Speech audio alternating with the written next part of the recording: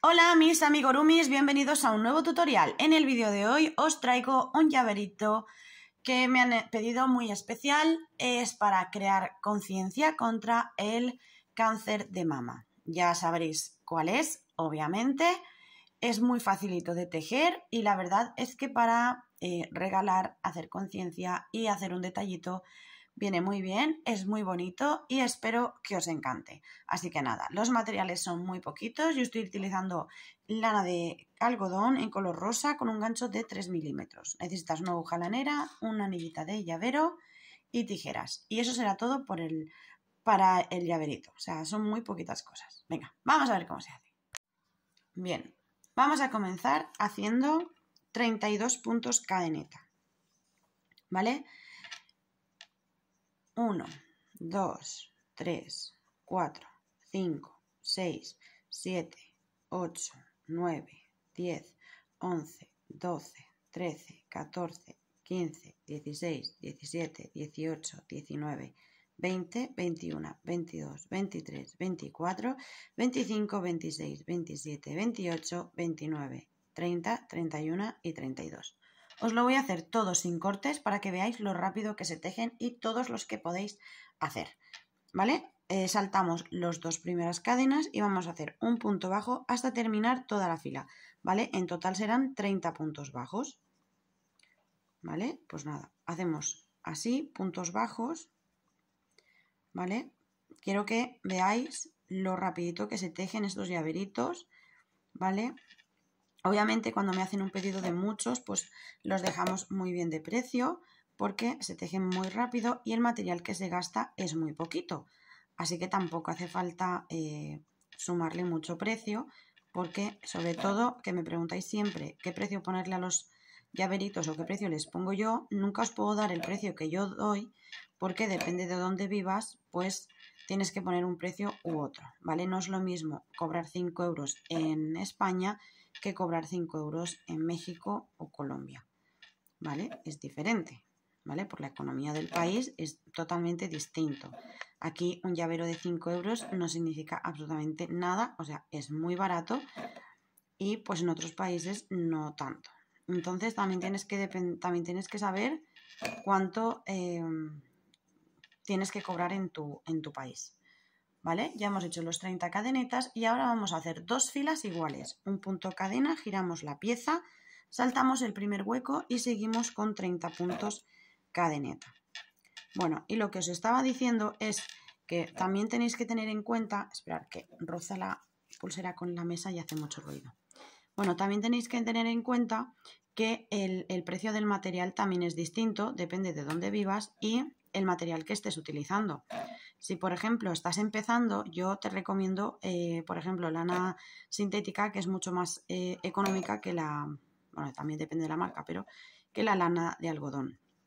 La lana de algodón, el acabado es mucho más bonito porque no tiene pelitos y, tiene un brillo muy bonito, eh, pero es bastante más cara que la acrílica, ¿vale? Entonces, yo os recomiendo, si os estáis iniciando, eh, lana acrílica porque podréis dejar los proyectos más baratos y si los dejáis bien de precio, pues os harán más pedidos. Conforme vayáis cogiendo experiencia, ¿vale? Iréis, lo veréis vosotros mismos, cómo vais mejorando muchísimo en el tejido, en la velocidad y también no, no hará falta tampoco que subas mucho los precios porque también lo tejerás más rápido, ¿vale?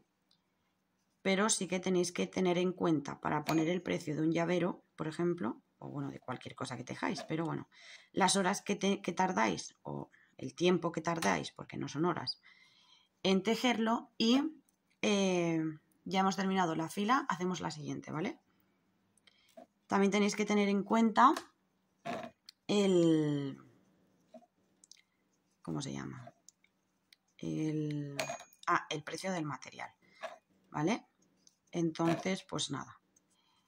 O sea, lo más importante es el precio del material, el tiempo que os ha costado tejerlo, a cuánto queréis cobrar vosotros el tiempo que os cuesta tejerlo, ¿vale? Eh, y el, lugar donde vivís, ¿vale? Y básicamente es eso. O sea, estos llaveritos también dependen mucho de cuántos te pidan, porque no es lo mismo que te pidan 30 o 40 para una concentración o, una reunión, eh, o que te pidan uno para regalar a una persona, ¿vale? No es lo mismo. Eh, ¿Por qué? Porque tejer cuesta lo mismo de tejer, ¿sabes? Lo que pasa es que, pues ya que te hacen un pedido más grande y se van a gastar más dinero, pues mm, tampoco se los puedes dejar más barato, porque ya no es solo un pedido que te, tengas que molestar en ir a correos, en mandarlo, tal, todo eso pensar que también es tiempo, ¿vale? O sea, es tiempo de trabajo que no se cuenta, pero el envío también cuenta como trabajo. ¿Vale? Vale, y el último lo vamos a hacer aquí, en el hilito de aquí de la punta para que el tejido quede recto. ¿Vale? Ya lo tenemos tejido. ¿Ya ves tú? ¿Qué he tardado? ¿Tres minutos? No llega. No sé cuánto he tardado, pero no creo que haya sido mucho más.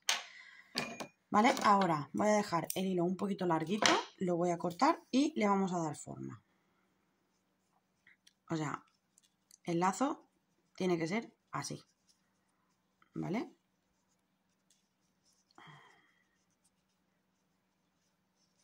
Bueno, ya sabéis qué forma, qué, qué, forma tienen estos lacitos, ¿vale? Em, lo más fácil es hacerlo así, ¿vale? O sea, tenemos así de este, ¿vale? Y los cruzamos de lado. Ahí. ¿Vale? Y así se quedará. Más o menos, no, bueno, más o menos. Tenéis que dejar exactamente lo mismo de aquí que de aquí. ¿vale? Tiene que ser la misma, la misma cantidad de puntos. ¿Vale? Le damos la vuelta porque el lacito es así y tenemos que ver que se haya quedado un huequito en la parte de arriba, ¿vale? Es decir, que no se quede así, ¿vale? Se tiene que quedar un hueco que sea visible en la parte de arriba, ¿vale? Pues nada, ahora sin soltar, si ya tenéis la medida perfecta, ¿vale? sin soltar, vamos a coger el hilo más larguito y le vamos a poner la aguja lanera.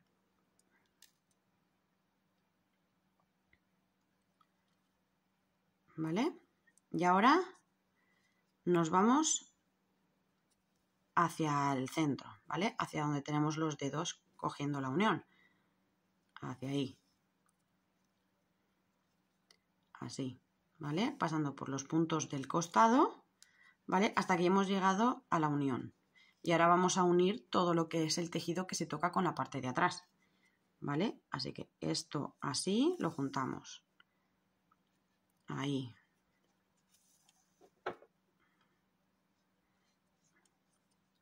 ¿Vale? Así. Y ahora nos vamos hacia el otro lado. Así. Así. Y ahí. ¿Vale? Y ahora esta parte. Ahí. Ahí. Y ahí. ¿Vale? Y cuando ya lo tengamos unido, ya lo podemos soltar, ya no se va a deshacer el lacito, ¿vale? Eh, vamos a la parte de atrás, hacemos un nudo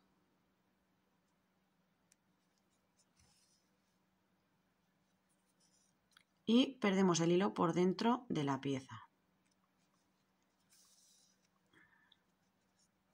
¿Vale? Y cortamos el sobrante.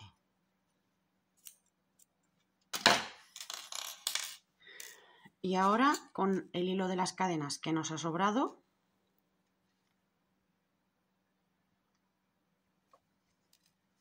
¿vale? Hacemos lo mismo, hacemos un nudo y perdemos el hilo hacia arriba, ¿vale? Y lo metemos entre las dos piezas que hemos juntado ahí, que es donde más seguro se va a quedar. Estiramos para que no se deforme la pieza. Ahí, y cortamos el sobrante. ¿Vale? Ahí. Y nada, pues ya para terminarlo, le ponemos aquí, chafando así un poco el tejido, le ponemos la anillita de llavero. Y ya tenemos nuestros lacitos de eh, la lucha contra el cáncer perfectos y listos para vender, regalar o lo que queráis. Ya es que no sé cuánto tiempo llevo, porque, pero no llegará ni a 10 minutos lo que he tardado en tejer este llavero. O sea, podéis hacer muchísimos a lo largo del día, os lo prometo. Y, y ya os digo, si tenéis un pedido grande, pues podéis sacarle mucha rentabilidad a este tipo de llaveros y si tenéis alguna personita especial a la que regalársela, pues también creo que le va a hacer muchísima ilusión que lo hayáis hecho vosotros mismos. Así que nada, espero que os haya gustado mucho el vídeo de hoy. Si te ha gustado no olvides dejarme un like y un comentario para saber que te gustan este tipo de proyectos. Y si todavía no estás suscrito, suscríbete activando la campanita para que YouTube te notifique cada vez que subamos contenido y no te pierdas ninguno de nuestros vídeos. Y si me quieres dejar un mensajito me lo dejas en Instagram y te contestaremos lo antes posible. Muchas gracias por quedarte conmigo hasta el final del vídeo. Nos vemos en el siguiente. Adiós.